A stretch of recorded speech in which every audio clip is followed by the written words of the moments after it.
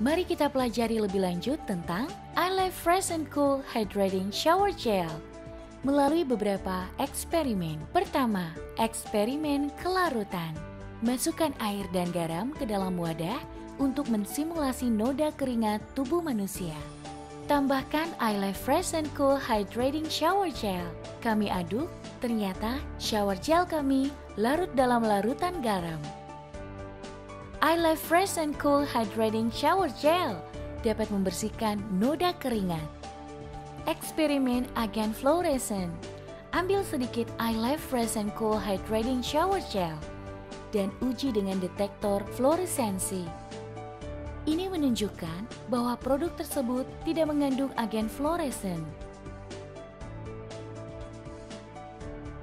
Eksperimen pH Ambil sedikit I Life Fresh and Cool Hydrating Shower Gel menggunakan kertas penguji pH untuk melihat tingkat keasaman dan alkalinitas produk.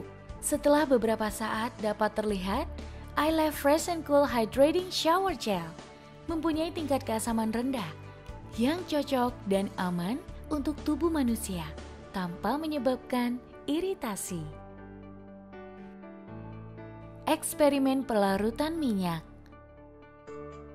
Tuangkan minyak nabati dan air ke dalam wadah. Dikarenakan minyak tidak larut di dalam air, maka akan muncul menjadi dua lapis terpisah. Mari kita tambahkan I Life Fresh and Cool Hydrating Shower Gel ke dalam wadah. Kita aduk dan digoyangkan ditemukan bahwa minyak nabati dalam wadah itu terurai.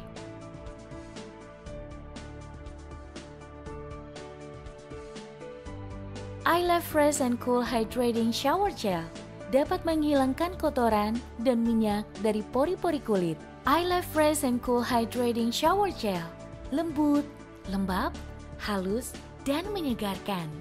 Cairan putih susu ini akan berubah menjadi busa putih di telapak tangan Anda.